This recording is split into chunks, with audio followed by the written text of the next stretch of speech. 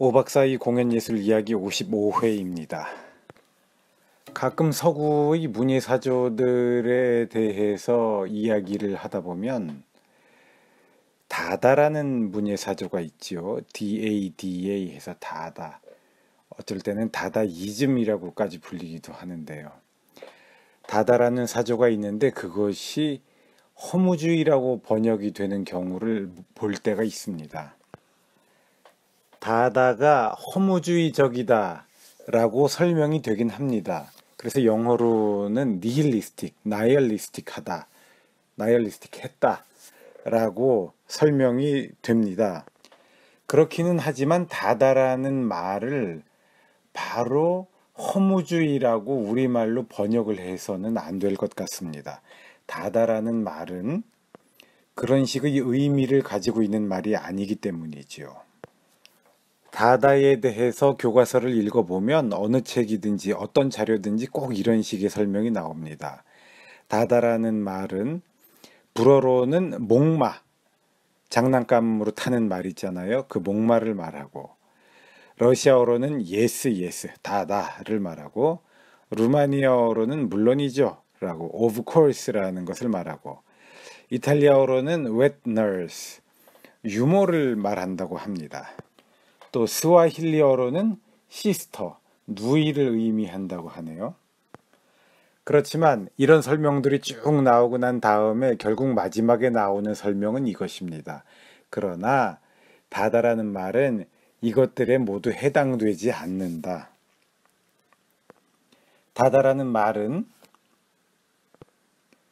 이 모임을 하던 사람들이 자기들 모임에 이름도 없이 모임을 하다가 모임의 이름을 무엇으로 지을까 하고 불어 사전을 막 뒤적이다가 아무 단어나 눈 감고 팍 찍었는데 그때 찍힌 것이 그때 집힌 단어가 목마를 의미하는 다다였다.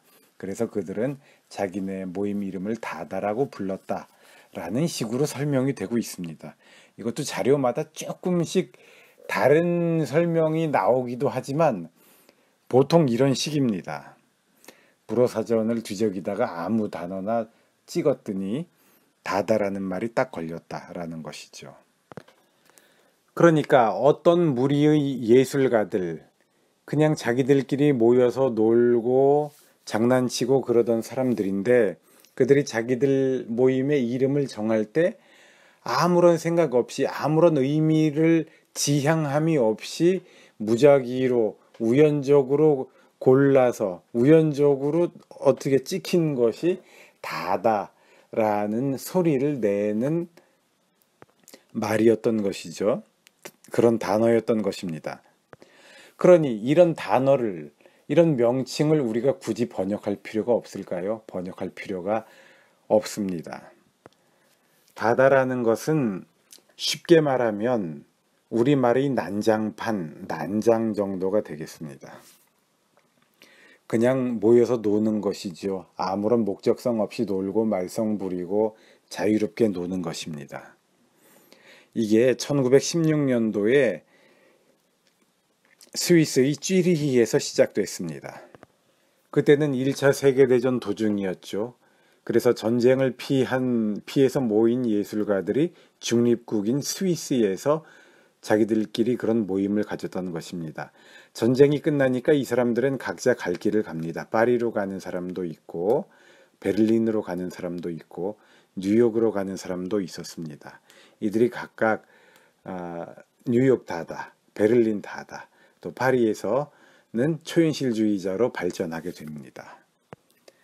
다다는 1916년에 스위스의 쥐리히에 있는 카바레 볼테르라는 술집에서 시작되게 됩니다.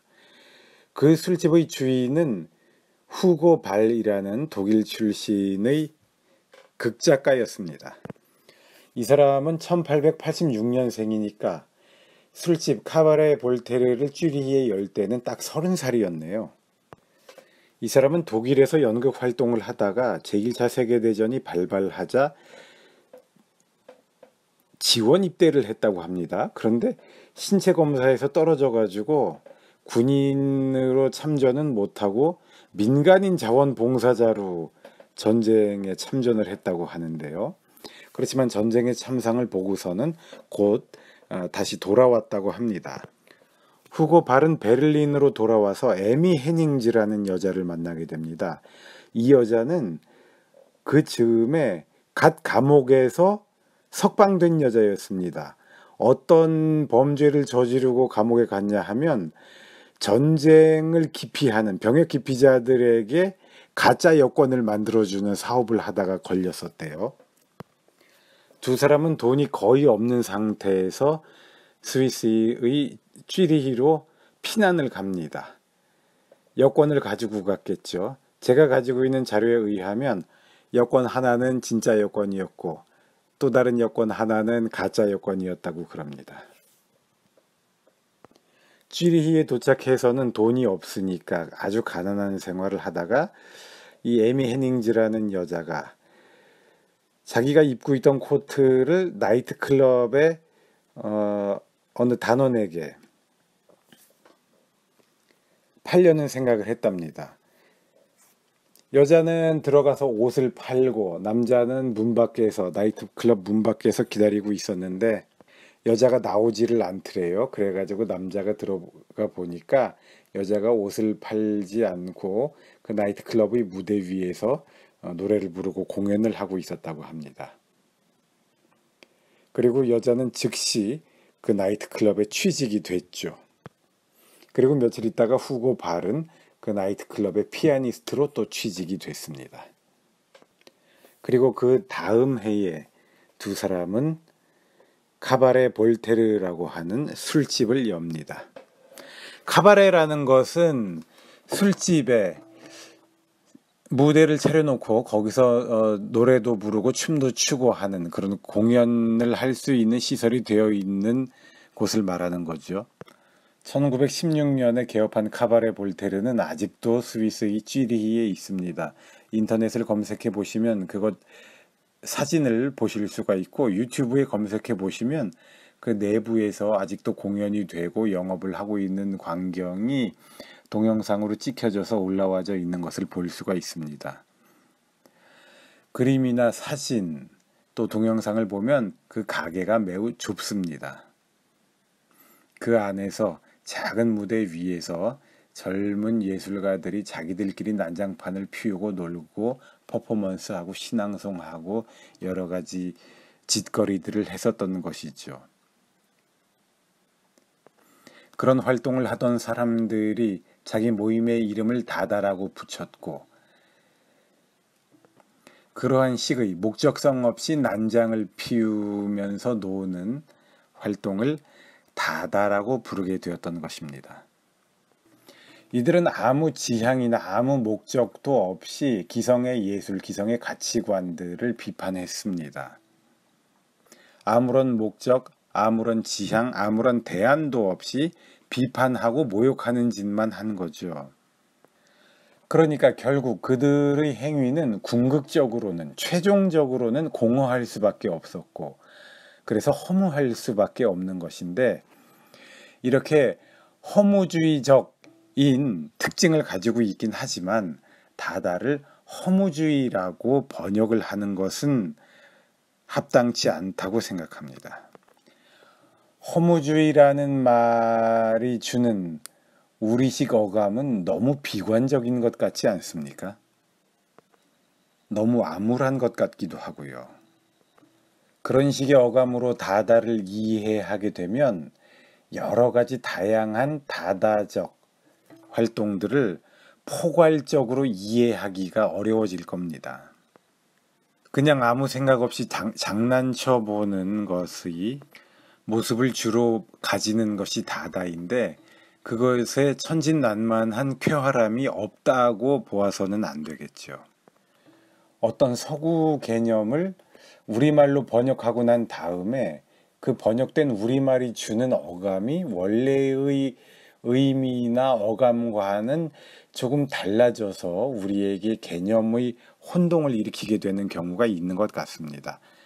다다를 허무주의라고 번역하면 물론 그렇고요.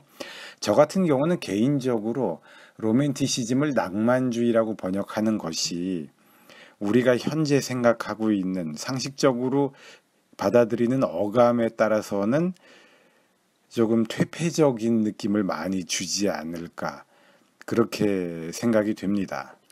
예를 들어서 최백호 선생의 노래 낭만에 대하여의 가사 내용을 보면은 구진비 내리는 밤 항구에서 어, 어느 그 술집에 앉아서 늙은 마담을 바라보고 색스폰 음악이 흐르고 이런 식의 분위기가 묘사되고 있지 않습니까? 물론 낭만주의에는 그런 퇴폐적인 느낌도 들어가 있기는 하지만 우리가 그런 식으로 먼저 관념을 형성해 버리면 그런 식의 어감으로 먼저 이해를 해 버리면 빅토르 위고의 고귀하고 위대한 인물들을 다루는 로맨티시즘이 제대로 이해가 되지 않을 가능성이 있는 것 같습니다. 외국어들은 되도록 번역을 해서 우리 말로서 우리의 어휘를 사용해야 하겠죠. 그러나 다다 같은 경우는 외국어가 아니라 외래어로서 사용을 해야 할 것 같습니다. 그러니까 다다는 다다일 뿐 다다를 번역하지 맙시다. 아무런 생각 없이 어떤 짓거리를 하면 그것은 바로 다다입니다. 그런데 보통 아무런 생각 없이 어떤 짓거리를 한다는 것은 어떤 고정된 형식에 사로잡히지 않는다는 것이고 기성의 것들에 구애받지 않고 그것들의 눈치를 보지 않는다는 것이니까 현 상태, 스테이터스 쿠어에 대한 반란이거나 저항의 성격을 갖게 되겠죠. 다다는 그러한 것이었습니다. 자, 다다는 다다일 뿐, 다다를 우리말로 번역하지 맙시다.